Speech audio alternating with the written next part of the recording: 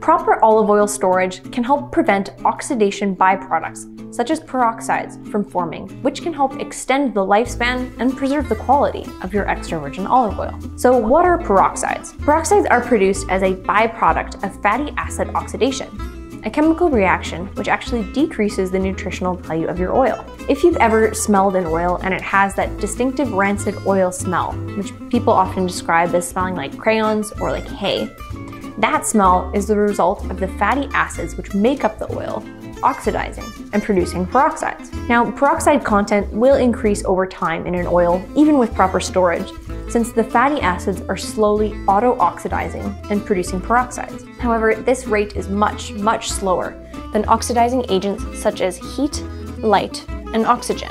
That's why we recommend you store your olive oil in dark glass bottles, sealed with a cork or pouring spout, and away from sources of heat. Keeping it in a cupboard or a pantry, for example, is ideal. Here at Evoolution, our oils must have peroxide values below 9 milliequivalents per kilogram, and it's this low value that indicates that the oil was made from healthy olives crushed immediately after harvest and that the oil has been handled with care. The bottom line is that your oils will last much longer and retain more of their health benefits and flavor if you store them properly.